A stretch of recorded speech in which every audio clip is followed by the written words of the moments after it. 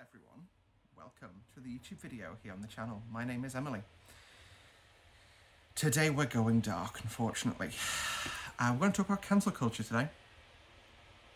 Yeah, sorry. um, so, cancel culture is something the right seems to love to rebel against, even though they do it themselves.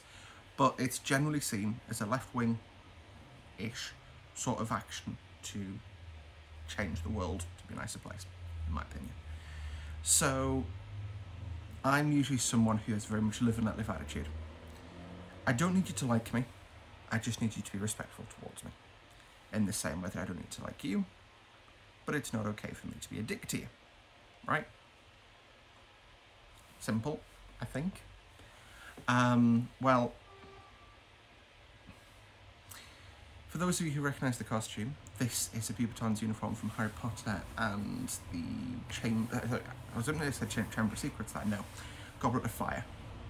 And this is a costume I've had for close to no two years now. Um, yeah, close to two years, and I've worn it. This is my, my second time actually in the in the costume. Now, I think that's a real shame because it's a lovely dress. Um, it, you know, it is. Yeah, it's a bit tight. So I put some weight on the last two years, but oh well. Um, but yeah, my, because of my values, because I think that the, the, the creator of Harry Potter is, you know, not acting very nicely towards people like me. I can't, I don't want to, I should say, uh, wear this to, to, to cons, to cosplay meets, that kind of thing. Um, because that's how cancel culture works to me. We, you know, you, you or rich person inherently in this situation does something the rest of us don't like, we stop buying rich person's things, therefore they become poorer or they get less income, they want to have more income, therefore they become a nicer person, in effect, right? Um, and yeah, that for me kind of sucks because on a personal note, obviously I'm trans and I just want to live and let live. You know, a lot of people can't seem to understand that concept, but it's, you know, not, not too hard, I don't think. But, um, you know, there are people out there who don't want that.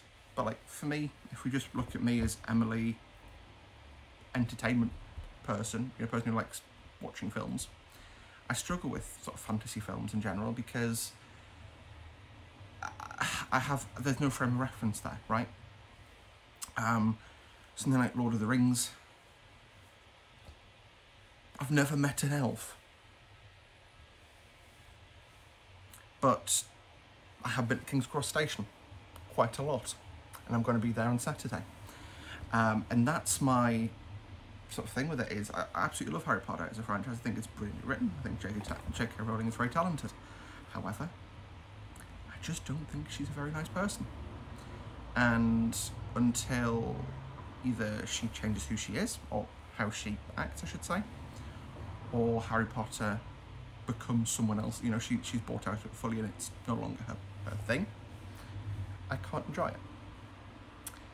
Anyway, I just wanted to do that little thing of dipping into cancel culture, how that affects me in a, you know, not in a yeah screaming way. There's a soundbite and a um, meme clip for you. Um, thank you guys for watching. Hope you enjoyed today's video. If you did, hit the like button. Subscribe to see more from me on a regular basis. We'll see you next time. Bye-bye.